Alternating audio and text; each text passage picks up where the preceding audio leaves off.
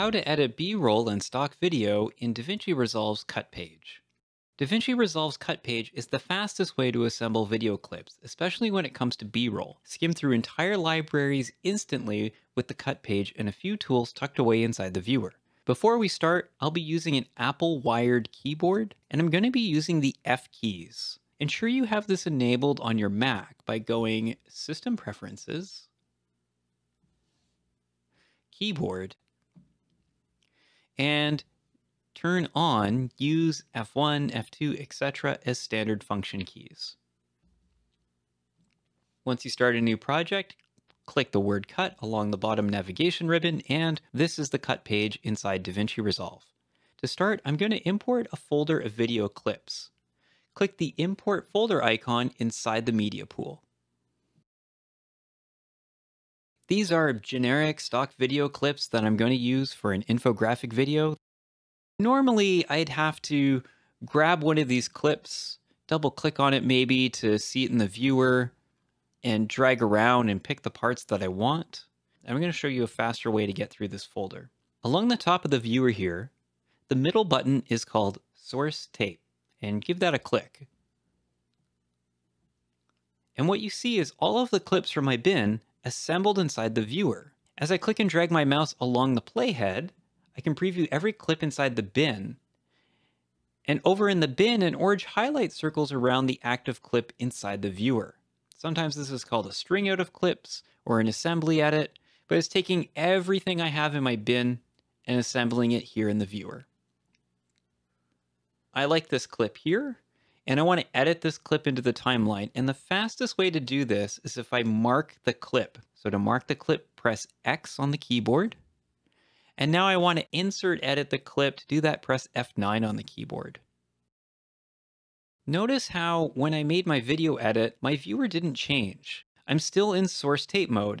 To continue viewing this footage, I can either drag my mouse on the playhead, or I can press spacebar on the keyboard and just keep watching the clips and grab them as I like them.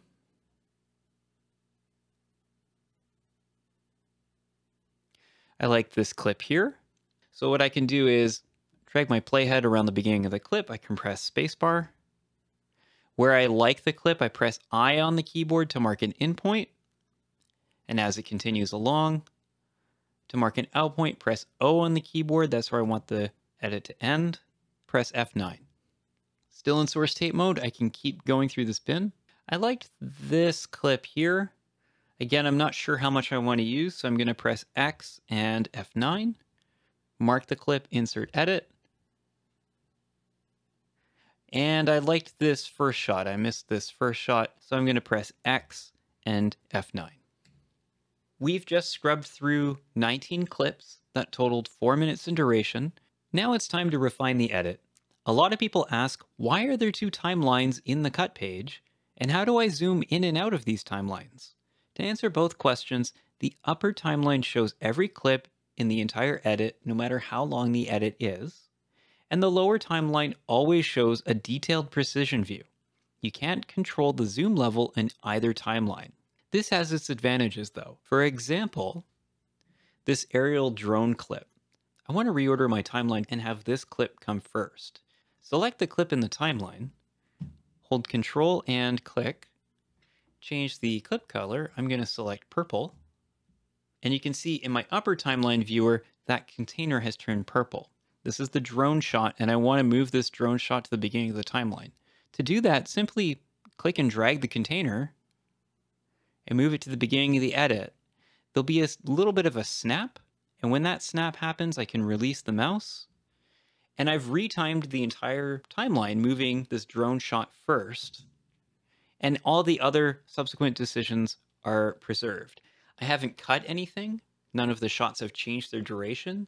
This would be like if I cut out a clip and then paste inserted it, looking through the timeline again. This clip here, this clip is something like 20 seconds long. It very quickly changes duration. Select the clip in the timeline and press Command D on the keyboard for edit duration. I can change the clip duration. There's a number of presets. I'm going to click 5 seconds and then change the 5 to a 3. and press change. Reviewing this clip back though, it takes a little while for the milk to be poured. When this edit starts, I want the milk to already be pouring. So to do that, hover your mouse inside the container in the Precision Editor and simply click and drag the mouse. That opens up the trim tools.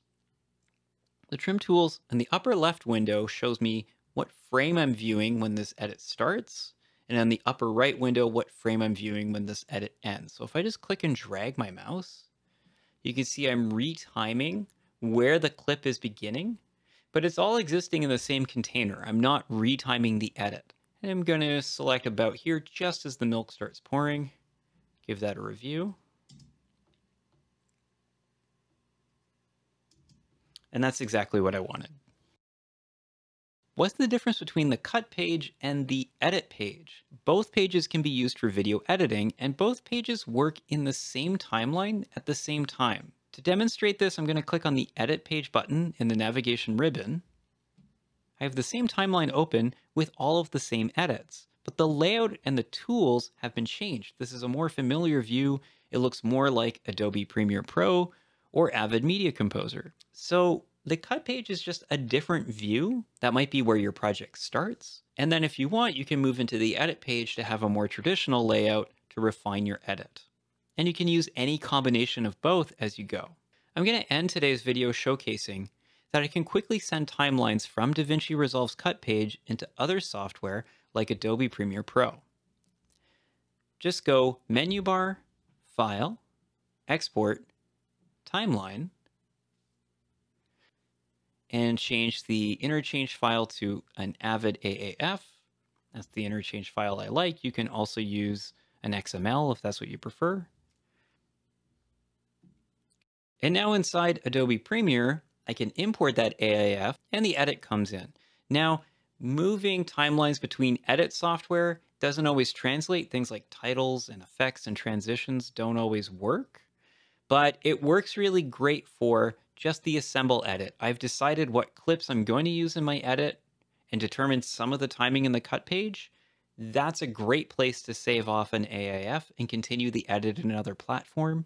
Um, sometimes when I'm working as a freelancer for another studio, I have to use Premiere or I have to use Avid. So I'll use DaVinci Resolve's cut page for my first pass, grabbing my B-roll clips or doing a very rough assembly because I love source tape mode so much. I just find it so fast. I never want to go back to manually dragging stuff to the source viewer again. I just think this is so cool. Do you have any questions about the cut page? Did you find source tape mode useful?